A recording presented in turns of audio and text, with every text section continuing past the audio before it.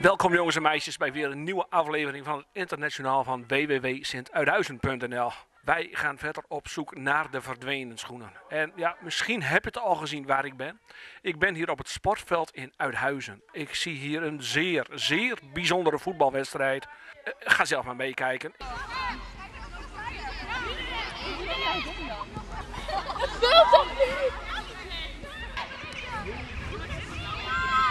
Dit is werkelijk ongelooflijk. Twee voetbalteams, alle schoenen zijn gestolen. Alle rechter schoenen zijn gestolen. Maar ja, de wedstrijd moet natuurlijk wel doorgaan hier in Uithuizen. Konden ze niet meer afzeggen. Het was een belangrijke wedstrijd. Dus ja, ze spelen dus zoals je ziet allemaal op één schoen. Nog nooit vertoond hier. Nou, de wedstrijd is afgelopen. Eh, er is gewonnen. Eh, dames, kunnen jullie me vertellen waarom dat jullie maar op één eh, schoen spelen? We wilden van eh, vanochtend onze tas inpakken en ze waren er gewoon niet. Is er nog overleg geweest met de coach van jullie team? Ja, dat was zeker. We hebben gevraagd of we dan met één schoen konden voetballen. En als hij dat kon doen, zeg maar met eh, de scheidsrechter overleggen of dat kon, ja of nee. En dat kon. 6-0 Wat is de einduitslag geworden? gewonnen. Maar ga je nu ook eh, nieuwe schoenen kopen? Ja, ik ga mijn schoenen eens zoeken. Ik hoop dat ik ze weer vind. Dames, bedankt en gefeliciteerd met deze geweldige overwinning. Nou, op zoek naar de verdwenen schoenen. Ik sta hier momenteel op de Blink in Uithuizen en oh, daar komt, wat, daar, daar, daar komt iemand aan fietsen. Eh, kom eens even, jongen. Dag jongen, ik zie jou hier eh, een beetje rondfietsen met maar eh, één schoen aan en één sok. Eh, wat is er gebeurd? Waarom? Nou, ik was vanochtend wakker en stond maar één- alleen mijn linker schoen in de huiskamer. Ja, meneer, Die van mijn vader waren weg, van mijn moeder, ik zie dat u maar op één schoen loopt. Wat is er aan de hand? van mijn broer, van mijn zus. Alle rechte schoenen zijn spoorloos. Zelfs van mijn kinderen, van mijn vrouw. We hebben geen rechte schoenen meer in huis. Oh, wacht, wacht even, ik ben nog hoor. Ja, ik bel je straks. Hoi. Ik dacht dan maar op één schoen. Ja, maar eh, ja, het is niet echt super droog. Nog geen natte voeten.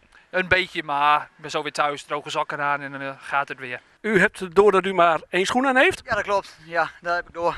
Maar dan vanmiddag nog naar de winkel nieuwe schoenen kopen. Waarom? Eh, Ik heb alleen maar linkerschoenen meer.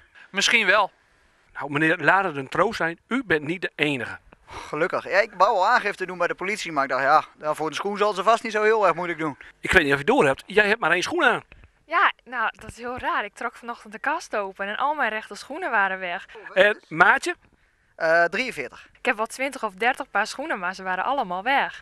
Alle rechtschoenen. Ook van je sandalen, slippers, crocs. Allemaal, ja. Ja, gisteren waren ze er nog. Ik heb ze allemaal nog bepast omdat ik ze allemaal mooi vond. Maar nou zijn ze allemaal weg. Alleen van jou thuis of waren er meer mensen in huis die ze kwijt waren? Iedereen thuis die, eh, die de rechte schoenen waren weg. Er was geen rechte schoen meer, eh, meer te vinden.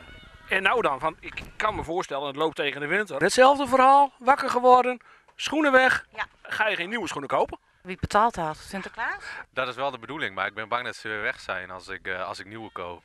En ik moest wel naar mijn werk, maar ja, dan maar met één schoen. Ja, die andere schoen, ja, die is gestolen. Ongelooflijk. Ja, eh, misschien een schrale troost. U bent niet de enige. Die kwam hier vanmorgen later en die zei, al mijn rechte schoenen zijn weg. Nee, die schoenen die zijn, mij, eh, zijn mij gestolen. Allebei? Allebei. Welke maat? Eh, dit is maat eh, volgens mij 39. Maar 43 en van mijn vrouw 39. Alle schoenen bij u in huis zijn gestolen, maar links en rechts? Links en rechts, ja.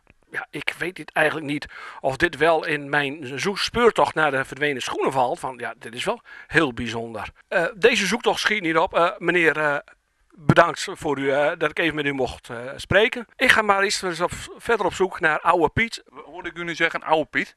Ja, er is een Sinterklaas heeft mij gebeld. Er is een zwarte Piet verdwenen.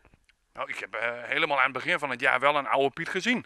Dat meen u niet. Ja, toen, toen was ik aan het werk eh, bij mijn broer in de winkel. Die lag te slapen op een bed? Op een bed te slapen, ja. Die meneer die hoort natuurlijk niet in de, in, de, in de winkel zonder dat er iemand is. Weet u misschien waar hij heen gegaan is? Nou, ik heb wel mensen horen zeggen dat hij in een bejaardentehuis hier in Uithuizen is eh, gesignaleerd. Dat moet dan Hunsegooierd zijn, anders zou ik het zo gauw niet weten. Ja, dat zou hier hun gegooid moeten zijn, ja. Ik eh, denk dat ik maar eens eh, richting Hunsegooierd ga lopen. Oké, succes. Voor zover deze aflevering van het internationaal van www.sinterhuizen.nl. Tot de volgende keer.